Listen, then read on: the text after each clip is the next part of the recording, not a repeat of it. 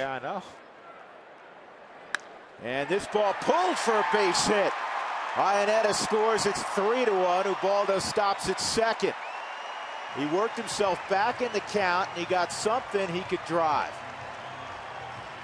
So Dexter Fowler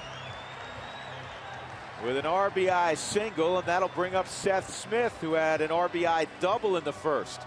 Well, a little meeting on the mound, too, because he is not hitting the locations, and the Rockies hitters are causing havoc for him on the mound by working deep counts to hitters counts, and the results have been nothing but line drives.